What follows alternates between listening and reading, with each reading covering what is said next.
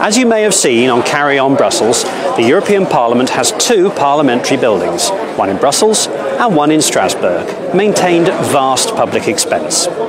Now, last year, when the European Parliament voted on the 2017 budget, we did so in Brussels.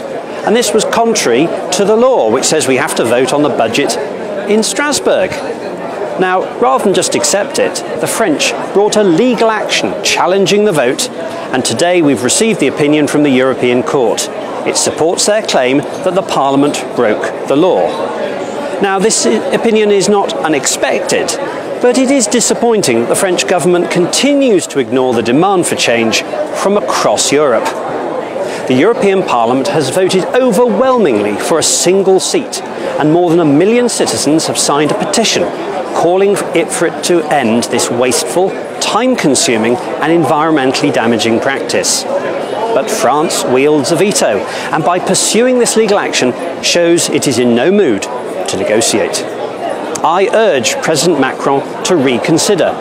It is in the EU's own interest to end what has become one of the clearest and most public examples of its inefficiency. In 1957, Strasbourg was a symbol of reconciliation.